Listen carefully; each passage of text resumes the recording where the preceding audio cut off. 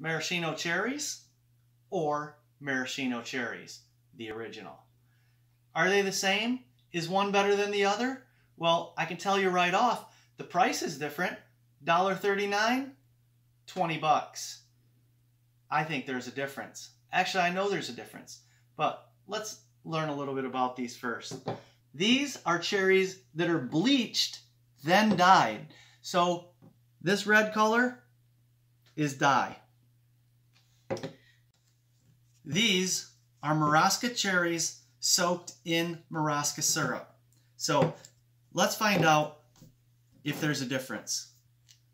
We'll get them both open.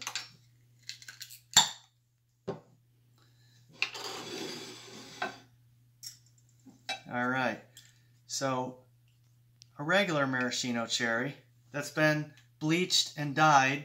Look at the syrup. Really kind of looks like sugar water. So we'll put that right there. Oh, look at that. Nice dark color. That's really thick syrup. Now let's taste these just to see. Sweet, the syrup's thin.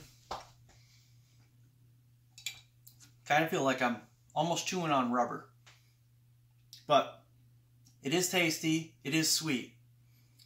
It's a common maraschino cherry. Now let's go with the Luxardo original. Mmm. Wow. There is, that is also sweet, but there's some serious depth of flavor there. So, would I rather have these or these in my cocktail or ice cream sundae or topper for anything. A lot of people think there's no difference. That there is an obvious difference. Are they worth the price? To me, they are. This guy wins every time. This is absolutely delicious cherry. This is just kind of sweet, chewy, rubbery. I'm not even sure what else to call it, but absolutely the Luxardo cherry to me is absolutely the best.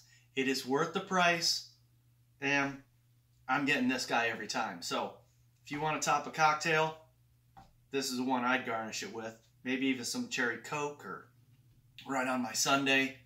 Anyways, the Luxardo definitely is the way to go, in my opinion. Thanks for watching. Please click that thumbs up, like this video, subscribe to my channel if you haven't already. Have a great day.